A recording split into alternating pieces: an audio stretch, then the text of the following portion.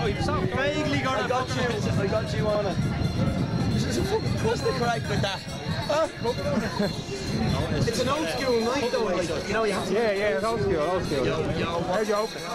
yo. you have to look through it. You have to look through it. Uh, you're not serious, eh? Half Warren K, Mick Walsh, Energex reunion's gonna happen like my zone, Westlife. And these guys are gonna get more money. Energex one and a half. And three quarters.